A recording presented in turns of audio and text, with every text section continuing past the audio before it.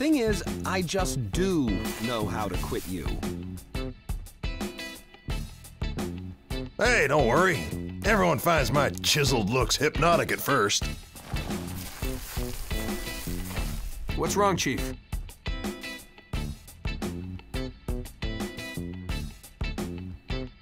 Why are you staring at me, man?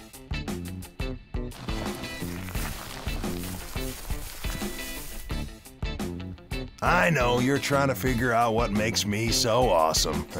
Good luck.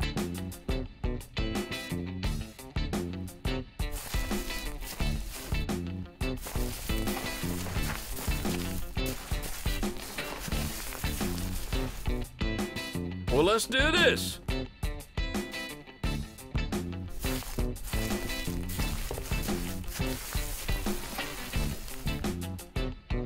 Okay, now get back to work.